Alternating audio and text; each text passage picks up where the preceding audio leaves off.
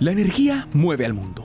Desde que nos despertamos hasta que nos dormimos, la energía eléctrica y otras nos acompañan en el diario vivir, pero su producción impacta al planeta.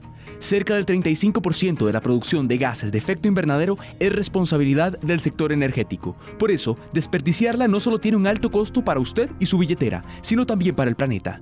Desde el 2012, el Foro Energético Mundial celebra el Día Mundial del Ahorro Energético. Su objetivo es hacer conciencia del impacto ambiental que tiene desperdiciar la energía, ya sea fósil, eléctrica u otra fuente. El reto a futuro no es sencillo. Por ejemplo, el aumento de temperatura global obliga a usar aire acondicionado, especialmente en el sector industrial. Y para el 2050 se venderían 10 aires acondicionados por segundo y el consumo eléctrico crecería hasta un 90% según la ONU. El ahorro y las fuentes renovables son ahora más importantes que nunca. En la región las autoridades están preocupados por el tema. Por eso la Comisión Económica para América Latina, CEPAL, lidera una estrategia de transformación y ahorro. Esta transición energética está fundamentada en cinco pilares.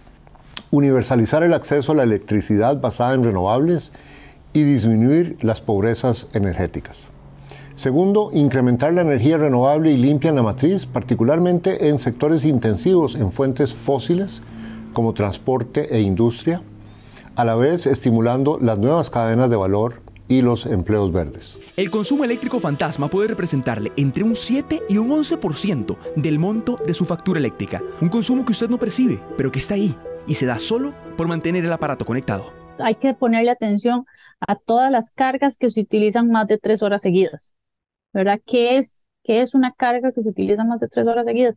En muchas ocasiones la luz prendida, la, la luminaria prendida toda la noche, o que me fui de mi casa y la dejé prendida, o el equipo conectado que tal vez no necesito que esté conectado. El uso de energías alternativas toma fuerza en el mundo. Ya en 2021 el 38% de la electricidad lo generaron fuentes renovables. El cambio empieza con nuestra actitud.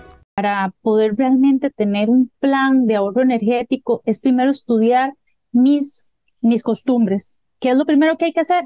Cambiar la cultura ese es el primer paso para un ahorro energético. O sea, culturalmente yo decir, bueno, voy a cambiar la cultura de lo que sí utilizo y cómo lo utilizo. Costa Rica, Paraguay y Brasil producen más del 80% de su energía con fuentes renovables. Ellos son ejemplo de que sí se puede alcanzar la sostenibilidad energética.